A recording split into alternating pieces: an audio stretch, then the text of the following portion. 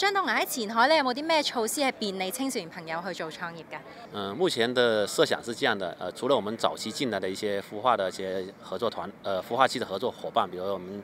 呃，厚德呀，还有这些这些伙伴，那近期我们可能还要启动，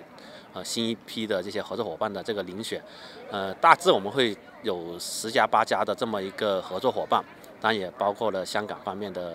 呃孵化机构。呃，通过引进这些机构之后呢，我们会慢慢形成一个生态，呃，打造一些的活动，呃，包括一些呃资金啊，也包括一些的技术的引入。像我们说是打开门来找合作伙伴，来一起分享，在前海，在梦工厂，我们能做的更多，将这个生态做得更好，为我们整个深港的这些青年人吧，在这里创业，呃，能够有更好的那个环境。希望更多的香港的青年朋友哈。能来到前海，除了来了解前海，更多是在扎根前海，来一起进行互动、进行分享。实际上，这实际上是生态的一部分。我想每个人都都要都要为这个生态吧，应该作为生态的一份子来看待。